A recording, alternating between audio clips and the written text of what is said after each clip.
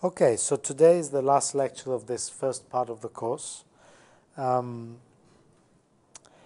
and if you remember, in the previous lecture, we talked about rotations of the circle, right?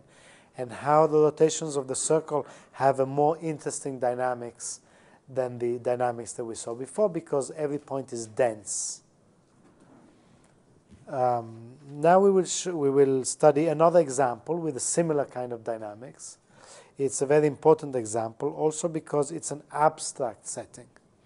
And I want to introduce an abstract metric space. This will be an example that is not on the real line, on in Rn, but an abstract metric space. So I will start by defining what I call symbolic spaces.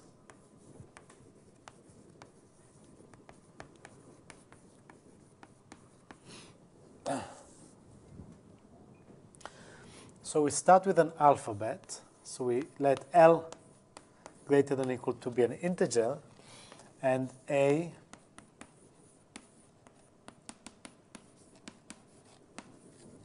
is a kind of alphabet of L symbols, okay, 0, 1, 2, 3, up to L minus 1. So if L equals 2, then this is just the symbol 0 and 1 and we let sigma L plus is the space of all infinite sequences.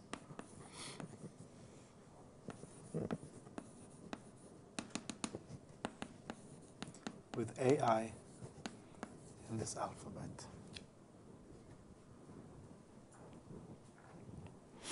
Words, infinite words or infinite sequences. Have you seen such spaces before? Such sets? Has anyone encountered something like this? No? So let me just ask you a preliminary question. How many, how big is this set?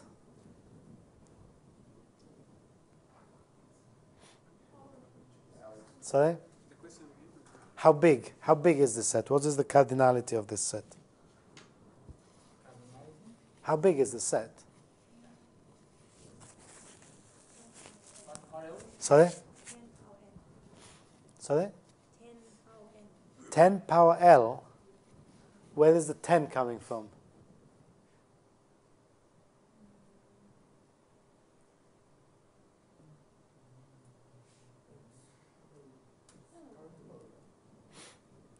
First of all, it's infinite. Is it clear that it's infinite? It's clear that it's infinite because you can have all these different combinations right? You can have an infinite number of possible sequences. Is it countable or uncountable? Uncountable. Anybody thinks it's countable? Think it's countable? Good. Now we have to, we can vote.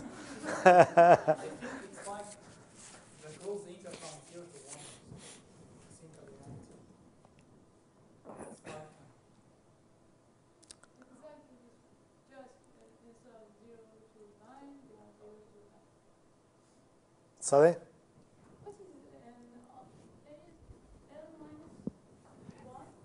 A is just a set of digits, right? 0, 1, 2, yes. So if you take L equals 10, then these are that's just the digits from 0 to 9, for example, right? So yes, so it's, it can be useful to think of the decimal representation. In fact, often it can be very useful. The, the, when you, when we, we're going to work with the space a lot, right?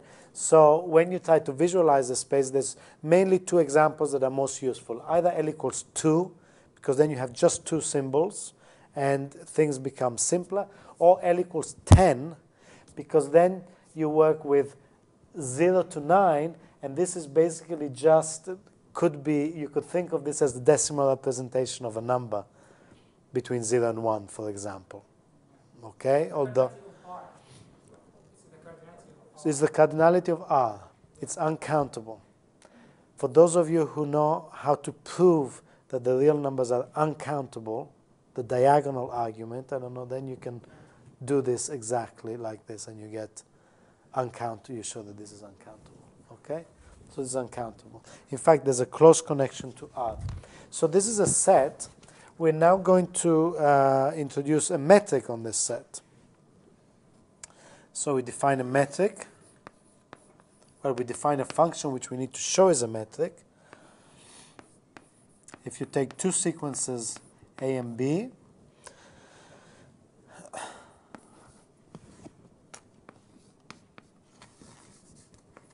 i equals 1 to infinity of ai minus bi over L to the i.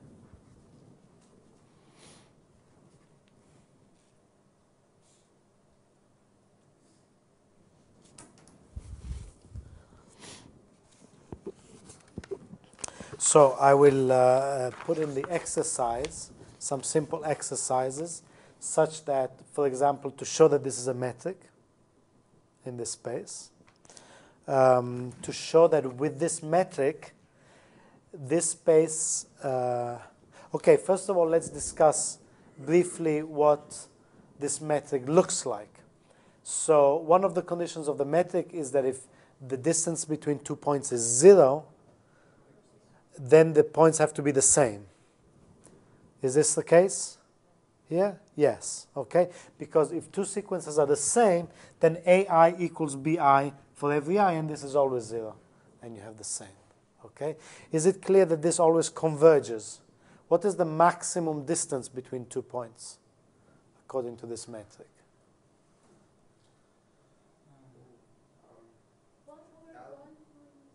That's right. Just the sum of 1 over Li here, right? Because the max, you can easily find two points that differ in every i, right? So wherever you have 0, for example, 0, 1, 0, 1, 0, 1, 1, 0, 1, 0, 1, 0, they differ, so you always get 1. So this is the sum of 1 over Li, which is, uh, yeah, 1 minus, uh, or 1 over 1 minus L. Okay, you have a specific. So that is the maximum, that is in some sense the diameter of the space, the maximum distance. Um, when, when are two sequences close in this space?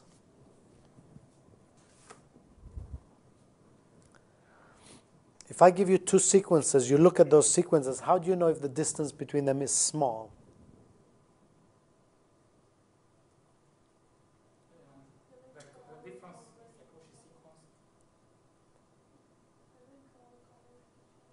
Sorry? Sorry? What do you mean by converge to each other? Maybe if we form the difference, okay, a sequence that whose general term is the difference between the two general terms, the sequence should be a Cauchy sequence. so look, wait, wait, wait. You, you, you're just, I think you're just kind of giving random answers here. So uh, look at the sum, the explicit form of the sum, okay? What uh, is the contribution of each term. This is just a sum, a countable sum of terms. The distance between two is given by this countable sum of terms. Okay? Now, right, if the first term is different, okay, then the sum, these are all positive terms, so they all contribute to the metric. If the first is different, then you get 1 over uh, L here, which is relatively big. If the second term is different, the contribution is 1 over L squared. Right? If the third term is different, the contribution is 1 over L cubed. So if the first 20 terms are the same, then the maximum distance between those two points is the sum of the tail of that, of 1 over L to the 21 plus 1 over L to the 22, and so on. Whereas for i equal to 1 or 2, then this is a big contribution. So really, these sequences are close. In some senses, the opposite of you, the the terms, the faraway terms, they do not really matter. Okay, the two sequences are close if the initial terms are the same. That's what you can see from the metric. So because this is a very important that we will use it, I will actually write it in a lemma formally, right? Um, so let's write this as a lemma. So it's two parts to this lemma. One is for every epsilon greater than 0, there exists an n depending on epsilon with n epsilon going to infinity as epsilon goes to 0 such that if A and B are in sigma plus L and AI equals BI for all i less than equal to n epsilon, then the distance between A and B is less than epsilon.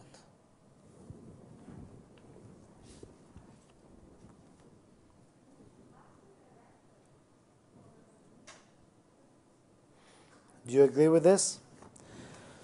So, what this is saying is that I want a criteria on the sequences that's going to guarantee that the distance between the sequences is less than epsilon.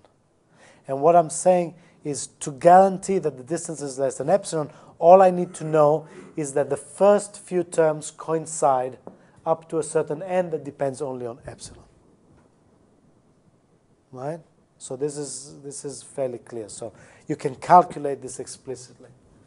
Right? So there exists an n that depends only on epsilon. If two sequences coincide for the first n terms, then this will be less than equal to epsilon.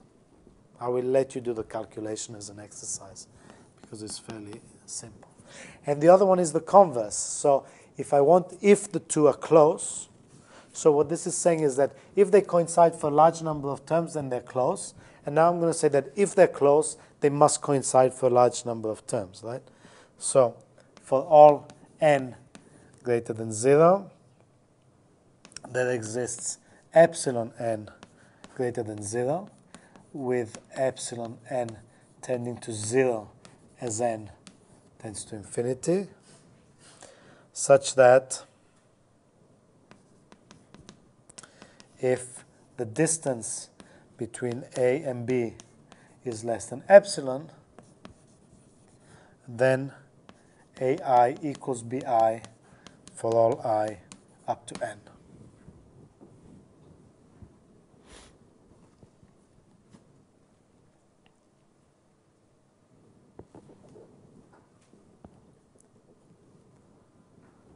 Does make sense? Yeah? This is saying that the only way that these can be close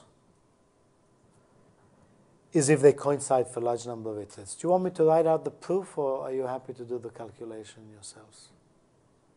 Do you want me to write it out? yes? I do? Okay, I can do it. Okay, let's write out the proof. But it's really very simple. So um, let's prove one. I will prove it because this intuition, once you understand that the intuition is crucial to understanding the topology and the, the properties of this as a, as a metric space. Right? So, um, so let epsilon greater than 0, uh, and then let n epsilon be sufficiently large such that 1 over L to the n epsilon is less than epsilon. And then I claim that this is good enough, right? So the statement says for every epsilon there exists an n epsilon, okay, with this property satisfied. So I'm claiming that the n epsilon that works is exactly this one, right? The one, because since L is bigger than 1, 1 over L n epsilon, if n epsilon is big enough, this will be smaller than epsilon, whatever that epsilon is. So then I claim that this is it, and then we just have to check. Then the distance the distance between A and B is equal to the sum i equals 1 to infinity of ai minus bi over li. And this, what is this equal to? We assume that ai equals bi up to time n epsilon, right? So uh, this is just equal to the sum i equal n epsilon plus 1 to infinity of ai minus bi over li. You agree? Sorry? And this tends to 0, yeah, so it's clear. This is less than or equal to the sum of 1 over li, i equals n epsilon plus 1 infinity, right? And in fact, the sum is, uh, so this is actually equal to 1 over L and epsilon, and this is less than epsilon by choice.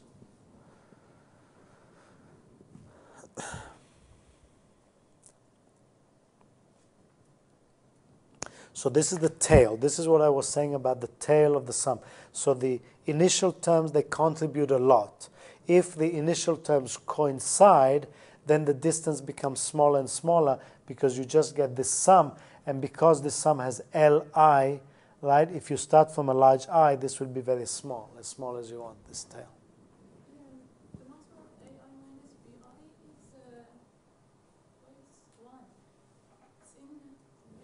Sorry, sorry, sorry. You're right. You're right. You're right. I was just I was thinking of uh, of uh, you're right. So I need to change this a little bit. You're right. This is L, so this becomes L. L n epsilon minus one. Uh, so I guess I want uh, minus one here. Okay. Yeah.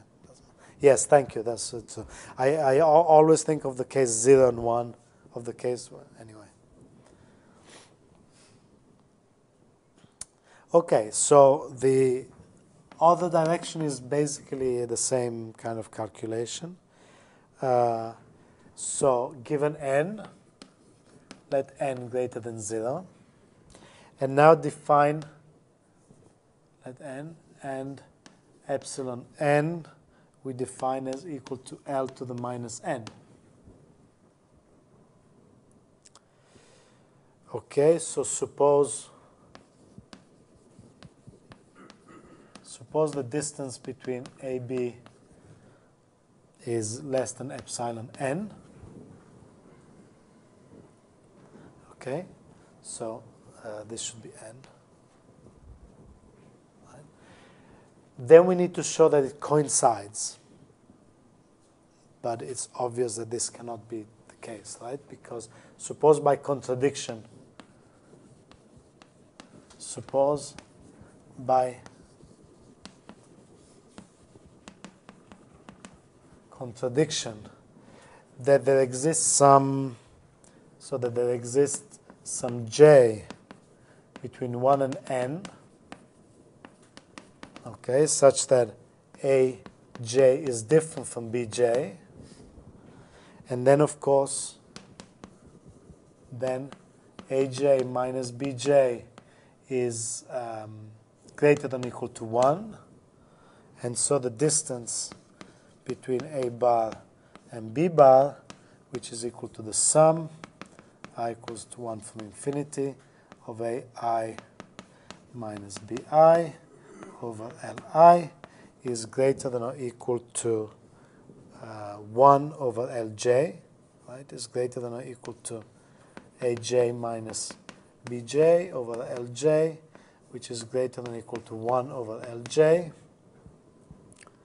which is greater than or equal to, which is greater than or equal to 1 over L to the n, which is equal to epsilon n.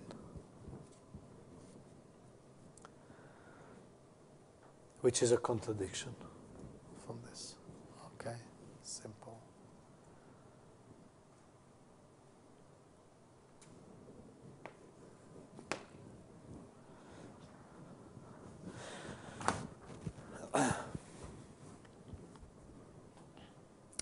This induces a topology. This metric induces a topology on this space.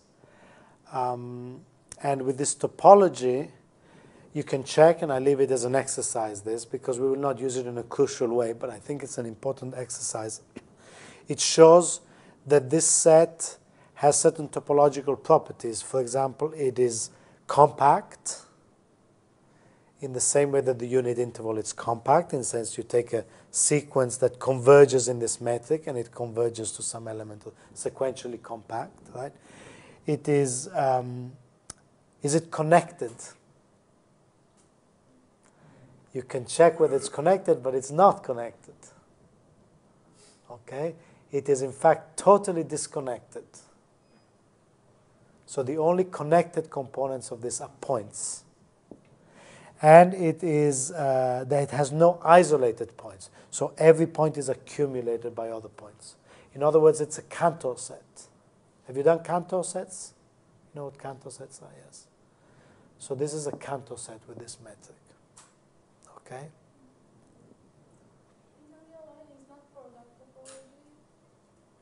Exactly. So also in the exercise, I think it's very interesting to try to understand what is the difference between the decimal expansion between the Euclidean metric and this metric here. If you think of this as decimal expansion, and you think of these on the real line, and you think of these as, a, as the met, this is not the metric that you have on the real line. It's a different kind of metric. It has the absolute value outside the sum and not inside the sum. And I put this as an exercise. I don't want to spend time on this, too much time on this now, because it's something to think about at home. If you take these, if you take these, uh, these uh, absolute values outside the sum, then you find that this is not a metric on this space. Why is it not a metric on this space?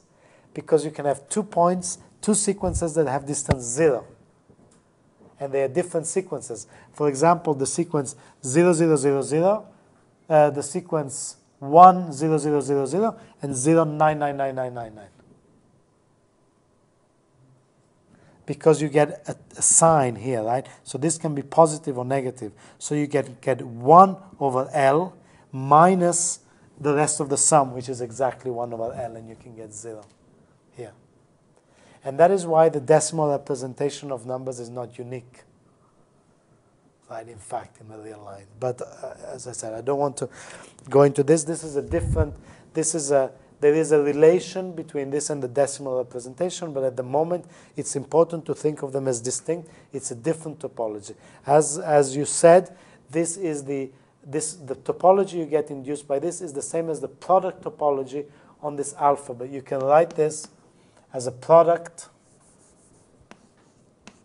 a to the n, if you want, as a product space from a topological point of view. Excuse me? Exactly. Yes. Yes. So this, uh, this, uh, the, you can take the discrete topology on this set of discrete points. If you take the product topology, you get the same topology that is induced by this method. Okay, just. But let's not uh, spend too much time because what we want is to look at dynamics on this metric space. We have a metric space. We want to introduce a map. There are several maps you can introduce, but there are two that are particularly important. Okay, one of them I will introduce now, and the other one I will introduce in the in the second part of the course. So, and they have very different properties. So the one that I want to introduce now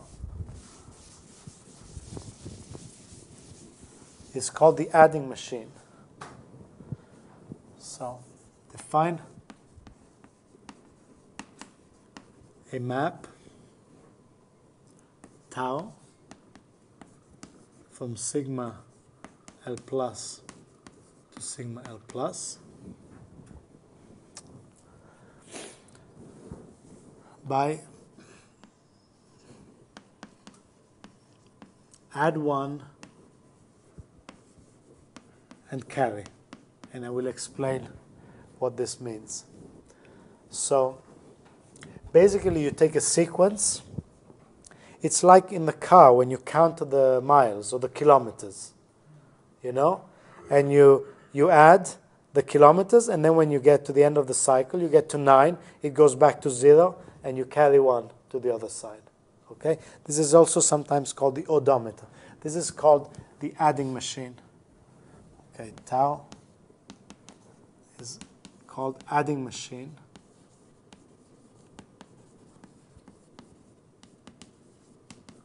or sometimes it's called odometer. Odometer is the uh, thing in the car that counts the kilometers that you've done. So I will describe precisely what it is. So you add one, you keep adding one here, and then when you get to L minus one, then the next you add, this goes back to zero, and you add one here. And then you just keep going like that. So let me define it more precisely how it's defined. So defined in the following way.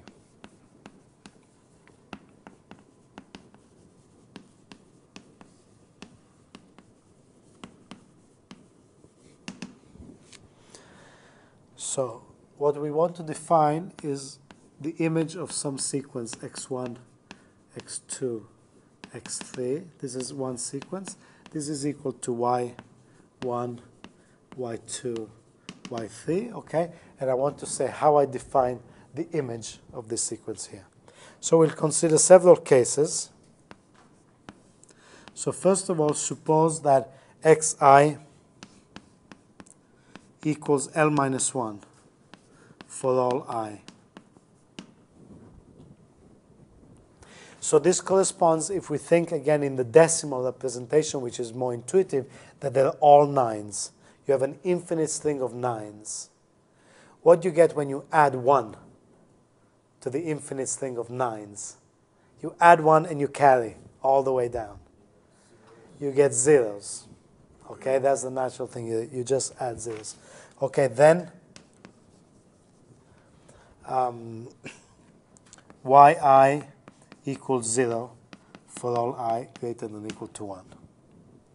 Okay, so I'm just saying if these are all nines, all L minus 1s, then by definition, I'm defining this map now, the image is all zeros.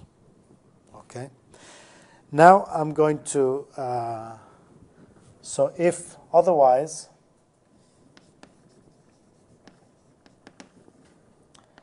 let i 0 of x bar, so of this sequence here, be equal to the minimum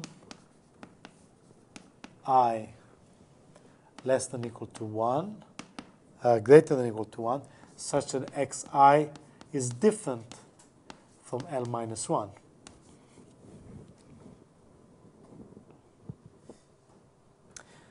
So in this case, this is not defined, right? Because it is always L minus 1. But if it's not, then there will be some time when it's not. So you have eh, 9, 9, 9, 9, 5 at some point. Okay? I look at the first time that is not a 9. Right? And then what am I going to do? How is it going to do? So what do I do? I add 1 to the 9, and what happens? This becomes 0, right? And you carry 1. You carry 1, but that is a 9 also. So I add 1, it becomes 0. And I carry. And this becomes 9, it goes from 9, becomes 0, and I carry. And I keep carrying until I get to the 5. And then I add 1, and it becomes a 6. And you stop there. Okay? This is the, this is the system. So I'm going to write it formally. So if I of x Um, if i 0 of x equals 1, what does that mean? That means that this very first term is not a 9. Okay, in words I'm always going to use 9 because it's easier to think with, but it's not L minus 1. And then what do I do? I just add 1 to this and finish. I just add 1. I don't need to carry anything because it's not a 9. So then let y1 equals xi plus x1 plus 1 and yi equals xi for all i greater than or equal to 2.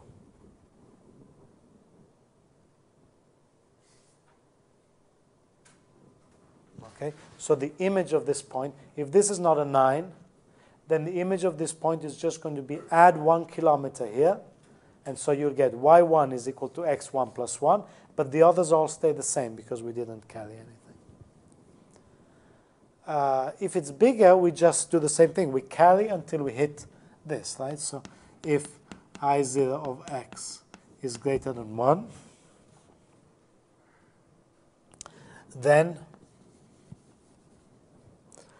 we let yi equals 0 for all i equals 1 all the way to i0. Um, all the way to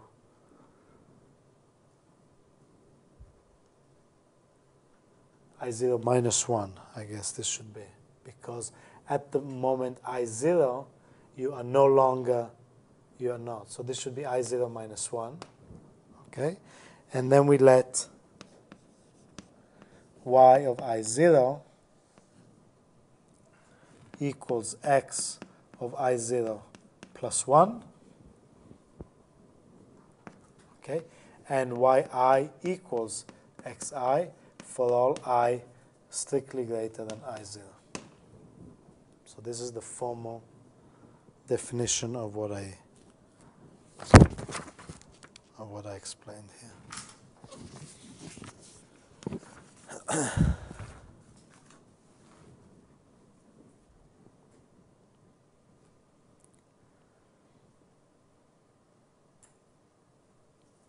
Any questions? Okay.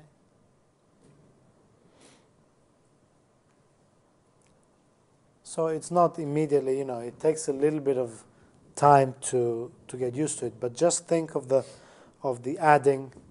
It's just, it's like an infinite kilometers. And instead of starting from the right, as we do here, at least in Italy, you start the numbers from the left. And you, these are the units, and these are the tens, and these are the hundreds, or whatever, something like this. And you just keep adding one, and you just keep adding. Okay? This is the way to think about it. So this is a well-defined map because I have defined exactly what the image is. For any sequence, I have explained exactly how to define the image of this sequence. And um, it turns out to be very consistent with this topology induced by this metric. And in fact, we can show that. So lemma tau sigma plus L sigma plus L is a homeomorphism.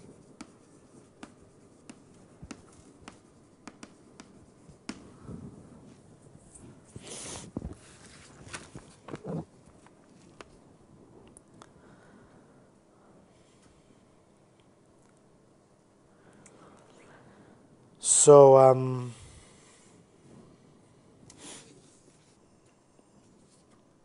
okay, let me just sketch the steps of the proof here, okay? Even though, again, it's just a question of using these definitions to check. But, um, so how do we show that H is injective? Why is H injective? Sorry? Uh, sorry, tau, tau, tau. Tau is injective, yes. Um, so it really just follows by looking properly at the definition, right? If you have two different points, okay, if if x is different from x bar prime, um, what does it mean that two sequences are different? It means that there exists some point at which they're different, right? Then um, there exists some i such that xi is different from yi. And so this implies, and so by the definition of tau, we have that the image, uh, sorry, uh, xi prime, and by the definition of tau, we have that yi is different from yi prime, where these are the images of these two sequences, of course, on the tau. It's just clear that you, if if you have two points just from the definition that are equal up to some point, and then here is different, and then the images clearly will be different. Okay. Yes. Yes. So in fact, uh, to to show, yes. In fact, to show the surjectivity, that's what I say. We just define the inverse map explicitly, and I guess the fact that that is well defined gives the injectivity at the same time, yes. So, so to show that tau is surjective, we can define a tau minus 1 explicitly. Okay, and maybe I will leave that as an exercise to do that because that, that way you can think, but it's very straightforward. It's just, okay, exercise.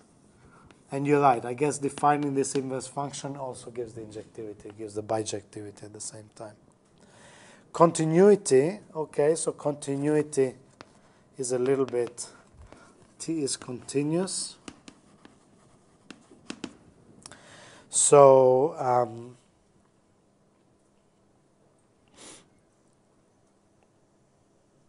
okay, so what does it mean to t is continuous? It means that if we take two nearby points, the images are nearby, right? So um, we take x minus x prime close by, less than delta, okay? Then there exists some i depending on delta, such that xi equals xi prime for all i less than or equal to i delta. Remember, this is just what we did before, right? The fact that two are close means that they must coincide for a certain number of iterations. Okay, this is just the definition of close. And uh, so letting tau i, tau x, so then if tau x bar equals y bar and tau x bar prime equals y prime, this implies that y um, i equals yi prime for all i less than equal to i delta. Okay, by the definition of tau, if the two sequences are the same for number of iterates, when you add, you get also the images are the same for all these iterates, and therefore this implies that the distance between y bar and y bar prime is less than equal to some epsilon that you can make. For any epsilon, as long as you choose I delta large enough, then this will be less than epsilon, and as long as you choose delta small enough here, you will get I delta large enough here. So you just can get this. Okay.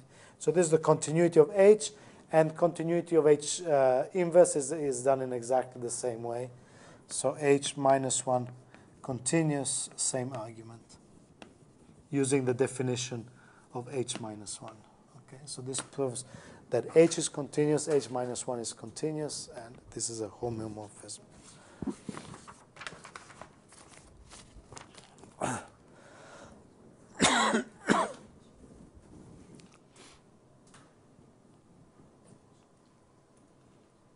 Question? Sorry?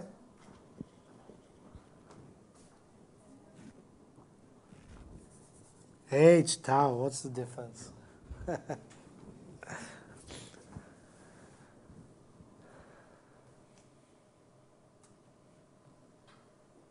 so it's interesting that we have such a abstract metric space.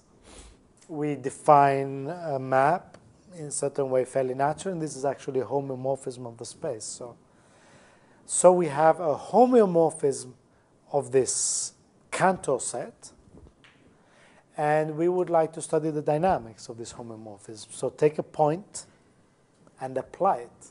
Apply this over and over again, iterate it. Right? This is the, what it means to study the dynamics of this set, of this map. So what are we going to do? So I said that this was an example of a minimal, minimal uh, dynamics, minimal homeomorphism, and indeed that is what we are going to show. So lemma oh, let me write this as a proposition. So, um,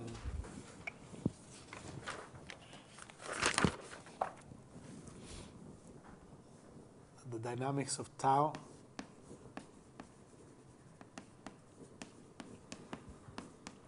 is minimal,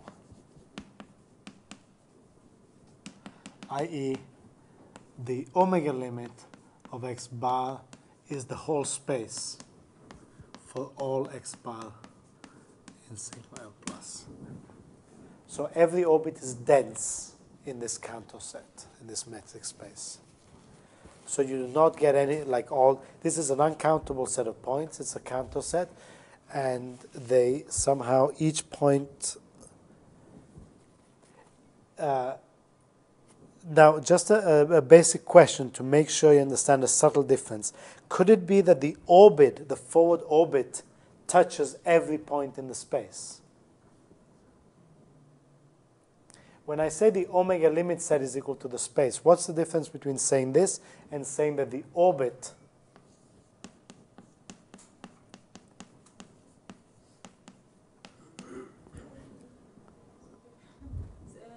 Wait, wait, let's ba. No, there is, there is no the same. It's not the same. Yes. Why? For the, for the, for the orbit, uh, we have the iterate. Yes, And for the, the omega limit, we yes, have the limit point yes. of, uh, of the set. Right, okay. What did you want to say? Same thing? Yes, the definition is not the same, but would it be possible to have this? Could we hope to prove this? Maybe in some cases. Why not? It's countable. Right, exactly. Very important difference. This is a countable set, the orbit. The, whereas this is not a countable set. Right? So there is this other very big difference. So when the orbit is dense, it's a dense subset of your space, so the omega limit is your whole space, but remember it's just a countable dense subset, right? So when you take the when you take a dense orbit, you're, I mean, you, you cannot. It's very different from saying that the orbit touches every point. The same in the circle rotation. When we have the rotations of the circle, the points are dense, but they do not touch every point on the circle because the orbit of a point is a countable set. It's just dense in the circle. Okay. Okay, so how do we prove this? This is really just literally taking a point and iterating this point and seeing what happens. So proof. Um, how do we show that the omega limit is everything? Um, the same as we did for the circles, in the sense that you need to show that it comes epsilon close to any other point in your space for any epsilon, right? So let x bar, uh, okay, let x bar be in sigma L plus. Um, we need to show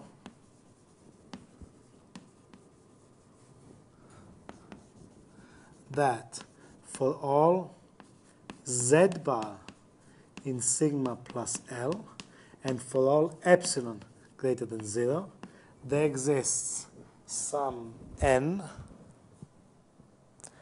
there exists n greater than or equal to 1, such that the distance between tau n of x bar and z is less than epsilon.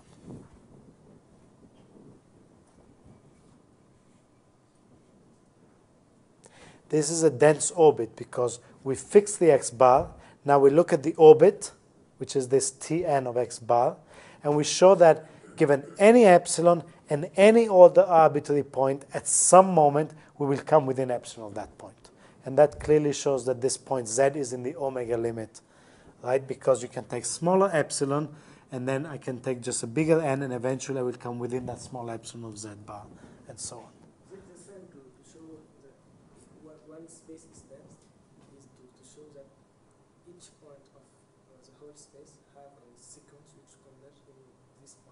That's exactly what we're doing, right? Because for you can take a sequence of epsilons going to zero, and then you take a corresponding sequence of n's going to infinity, such that the orbit, so you have a subsequence of iterates that is converging to the point z. Right? So that's exactly what we're doing here. We're showing that there's a subsequence of iterates that converges. That is the definition of omega limit, right? But that's exactly what we're doing because we're taking epsilon arbitrary. So how do we look at, how do we study the iterates of the point x? How do we show this? it's not that easy because uh, it doesn't look that easy because this can be any point, okay? And we don't know anything about this point. This also can be any point, okay? What we do know, however, is what it means to be close. This is what we have to use in a crucial way. Annie, what does it mean to be close? For these two sequences to be smaller than epsilon.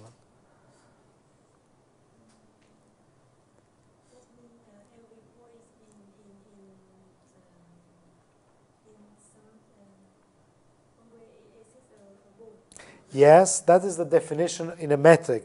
But in terms of the sequences, you know, so these are specific sequences. We have a specific metric which we've studied in this sequence. So if I tell you what Z is, if I give you the sequence, and I give you this sequence here, how do you know if these sequences are smaller than epsilon?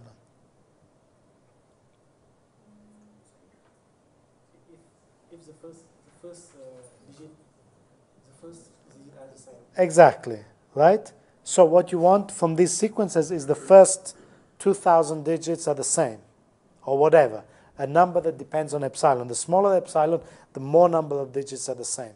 Remember, we proved this lemma. This is the fundamental thing that you must keep in mind. Two sequences are close if their digits, the first digits coincide, right?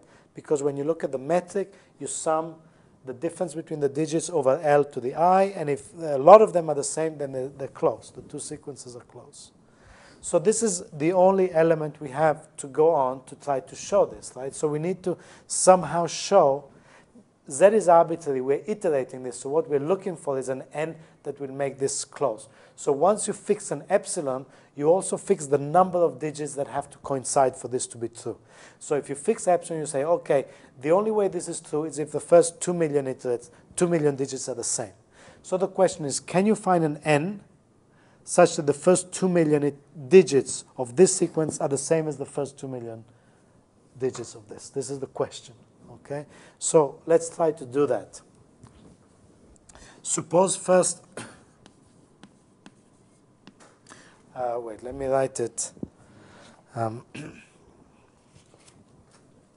okay, so first let me uh, say, write down what I just said, which is that to show this, um, it is sufficient, so need to show this. Uh, so it is sufficient to show that um, first n epsilon digits of tau n x bar coincide with the first n epsilon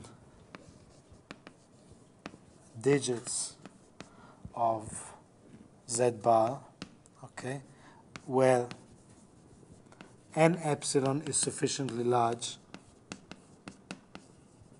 depending only on epsilon.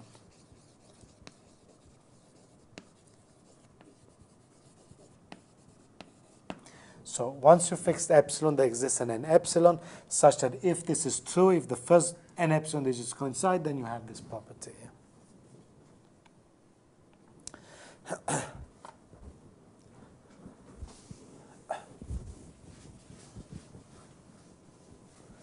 Now, what looks difficult is that z bar is arbitrary, right? This has to be true for all z bar.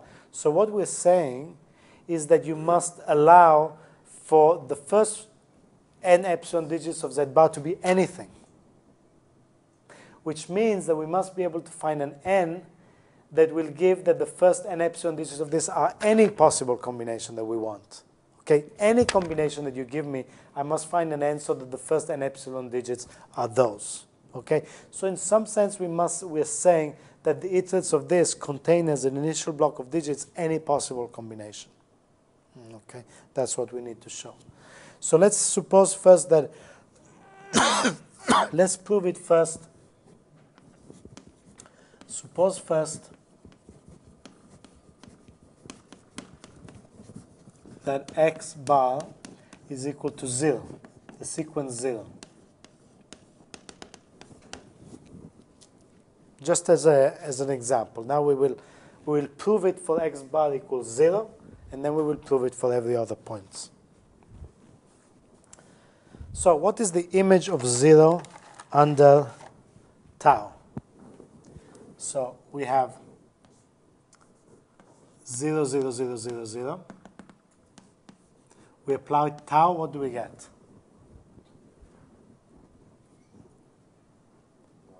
1, 0, 0, 0. Okay? We apply tau again. What do we get? 2. 2, 0, 0, 0. Okay? We apply tau several times until we get L minus 1, 0, 0, 0. Right? Then we apply tau again. What do we get? L minus 1 has completed the cycle. It's like a 9, it goes to 0, and here we get 1. Right? So 0, 1, 0, 0, 0. Then we apply tau again. What do we get now? Okay, you start to see the pattern. We get 1, 1, 0, 0, 0. Right? And then we apply tau again. We get 2, 1, 0, 0, 0. And then we keep applying it until we get L minus 1, 1, 0, 0, 0. Then, one more cycle. So we now apply, add 1 again, and we get 0, 2, 0, 0, 0.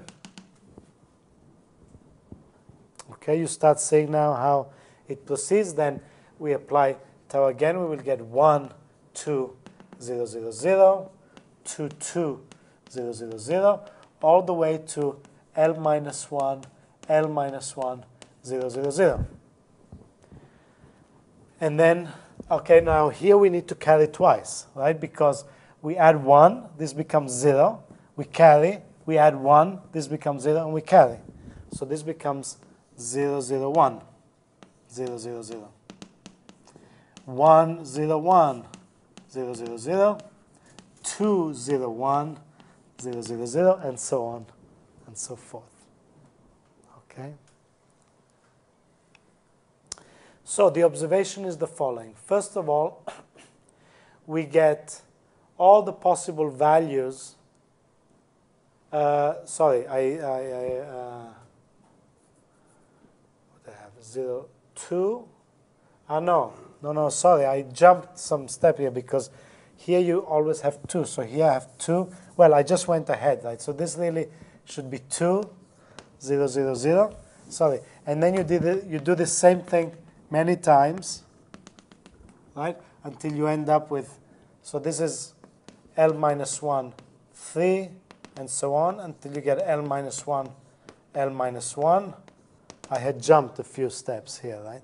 And then you do, and then you get the situation where I, that I described before. So you get 0, 0, 0, 1, 0, 0, 0, 1, 0, 1, 0, 0, 0, and so on and so forth. So, now the simple observation is that we get every possible finite block in the beginning if we wait long enough, right? Because look, at the beginning, for the first, if you just look at the, if you suppose that n epsilon is equal to 1, okay, so you just look at the first term, you get all possibilities. You get 0, you get 1, you get 2, up to L minus 1. Now look at the blocks of length 2.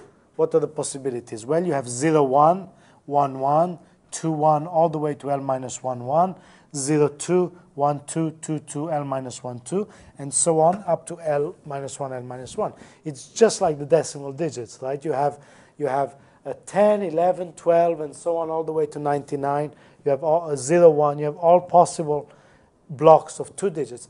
And then you can see that I'm going to continue, and I'm going to get now for many iterates, nothing is going to happen everything is going to happen only to the first three iterates, right? All the way, and then at some point I'm going to get L minus 1, L minus 1, L minus 1, 0, 0, 0.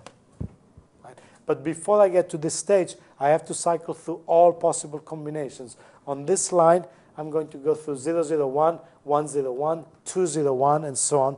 Then when I carry, I will start again with 0, 1, 1, and so I will carry, and then I will keep going, and I cycle through them, and I end up with all the possible blocks with 3.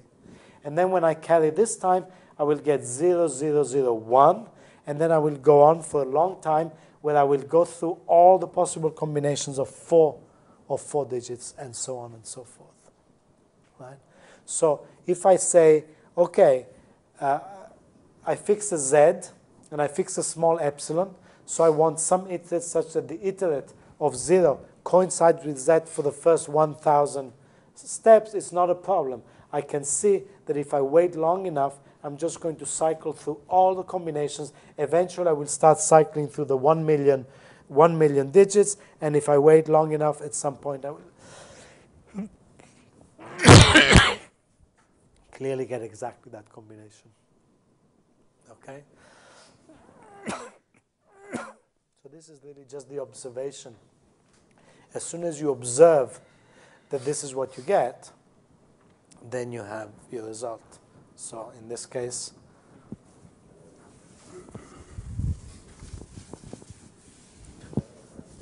sorry, yes. Wouldn't then the forward orbit of zero be all of the all of the space? That's a good question. Yes, it's related to the comment I made before. You tell me, will it be the whole space or not? is there any sequence that is left out from the orbit? That's a good. Uh, that's a good question, actually. what are the sequences that would not be included? Huh? For example. Um, yes, so these sequences always finish in zeros. All the sequences you get here all terminate in an infinite number of zeros. So really you are literally approximating by countable set. This is a little bit like just a collection of all the finite words. So the set of all finite words is countable. And what you've got here in this sequence of orbits is you've got just every single finite word followed by all infinite zeros. And that is what this orbit is. It's a countable set of points, finished with all zeros. so, how do we generalize this to a generic point? So, now, so uh, do I need to say anything more? So, clearly, um, so uh, the orbit, let me just say the orbit of uh, zero under tau uh, cycles through all possible um, finite words.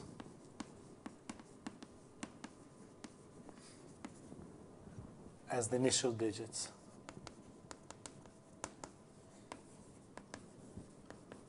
Okay, thus we have that omega of 0 is equal to the whole space. Okay, because of what we just said here. Now, how do we do it for general?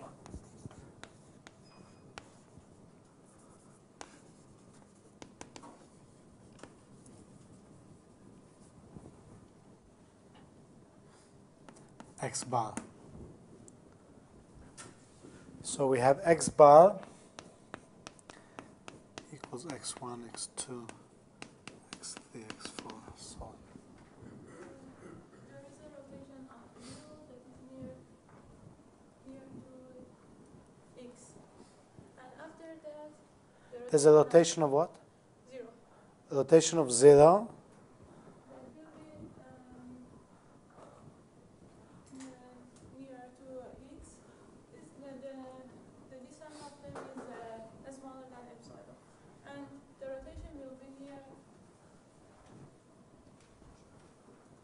Yes, yes, I think that would work. That would work. That's a very good observation. So you, you need to add the fact that, uh, that tau is an isometry, which we have not discussed. So in fact, tau preserves the distance between points. So if you take two points at a certain distance and you apply tau to them both, uh, the, the distance stays the same.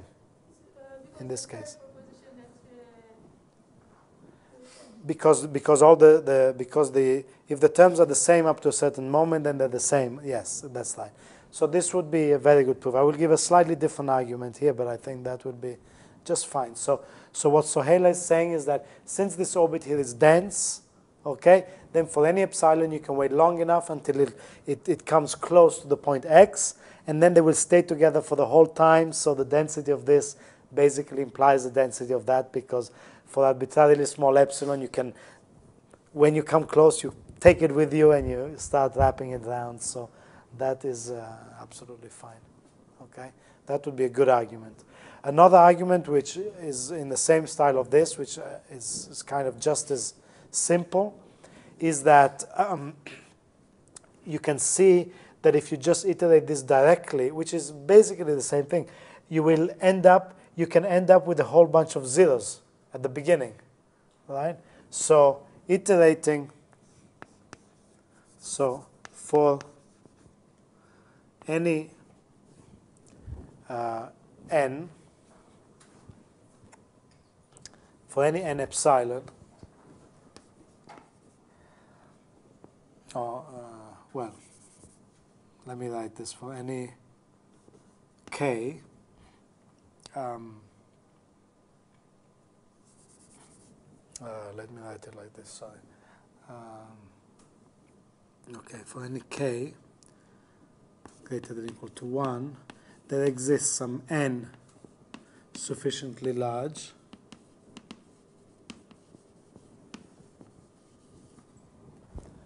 Such that uh,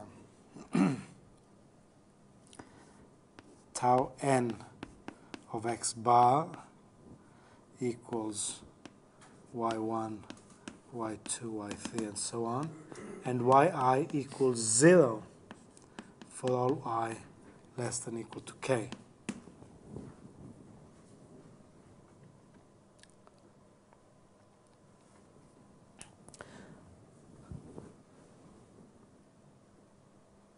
So what I'm saying is that if you start with this, you can make these zeros, right? Because what you do, you start, so you start with x1, x2, x3, x4, and so on, right? And then you apply tau, and after some point, this will become zero. So you apply tau a certain number of times, and then you will get zero, and here you will get x2 plus 1. So before that, at some point, this will become L minus 1 because you keep adding here, right? So at some point, this will become L minus 1, x2, x3, and so on, right? Then at the next iterate, this will become 0, and this will become x2 plus 1, x3, x4, and so on, right? Then now, you keep cycling. Then as you add 1, this cycles through another cycle here, and this will become x plus 2, and then you cycle through another cycle, and this will become x plus 3, right? And at some point, this will become 0, L minus 1, x3, x4, x5, and so on. And then you cycle, you iterate one more time, and you will get 0, 0. Um, and here you get x3 plus 1, x4, and so on. And then you keep going, right? And then now you cycle through a hundred of these steps, and then you add one to here, and then you cycle through more, then you get 0, 0, and then you add one to here, and then at some point this will reach L minus 1, and then you add one more, and you get, and you end up, you get L minus 1, L minus 1. Sorry, this should be, yeah, you get this, and then at some, maybe there's one more intermediate step. So at some point this will become L minus 1, L minus 1, x3, x4, x5, and then you add 1, and then this becomes 0, 0, x3 plus 1, x4, and so on. And then at some point, you, this one also becomes zero, and so on. So if you wait long enough, you can get that the first 1 million digits is zero. And if 1 million digits is all you need, then you have exactly this situation here, right? If the first 1 million digits is zero, then you start from this point and you finish and you get the sequence that you want from these zeros. Okay? I think your proof was probably more elegant. This proof that I used here is the famous mathematician's proof about, the, uh, about how you boil water. You know these mathematicians, how they boil water in a pot? Because in Italy we make pasta all the time, right?